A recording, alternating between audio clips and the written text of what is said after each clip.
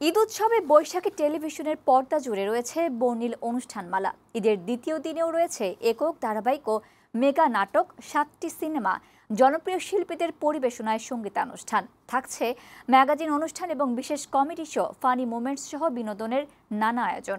বৈশাখের ঈদ অনুষ্ঠানমালার খবর জানাচ্ছেন সালমা জাহান মুক্তা। দর্শকদের চাহিদাকে গুরুত্ব দিয়েই প্রতিবার ঈদের অনুষ্ঠানমালা সাজায় বৈশাখী টেলিভিশন। তোমার কথাতে ঈদের দ্বিতীয় দিন সকাল সোয়া আটটায় থাকছে বৈশাখীর সকালের গান। গাইবেন শিল্পী নাসির।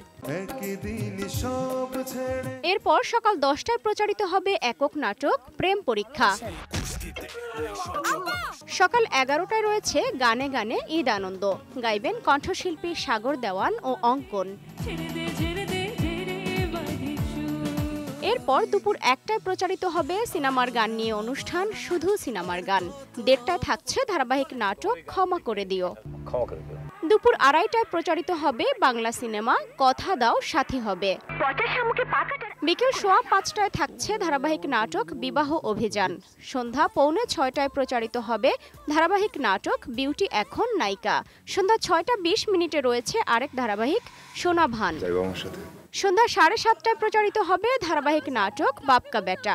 এরপর আটটা দশ মিনিটে একক নাটক আত্মীয়।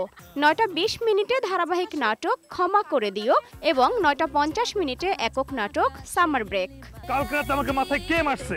এরপর রাত এগারোটা পঁয়ত্রিশ মিনিটে প্রচারিত হবে মেগা ড্রামা সাহেব বিবি গোলাম। আমাদের কি অন্যায়? আমাদের কেন আটকে রেখেছে? সালমা জাহান মুক্তা বৈশাখী সংবাদ ঢাকা। Thank you.